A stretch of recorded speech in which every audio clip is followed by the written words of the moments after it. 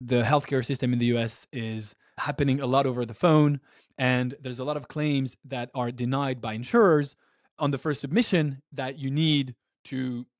check what's wrong and submit it again and maybe you did something wrong and of course insurance are using ai more and more to reject you faster and in some cases they require a phone call for you to appeal that process and they do that on purpose because they know the hospitals and everyone else are usually understaffed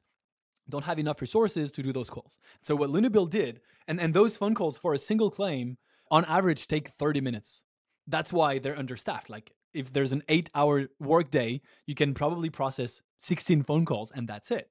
Lunabill is an AI that can process hundreds or, or thousands of calls at the same time and, and just get that sorted. What's really interesting is they have a proprietary data set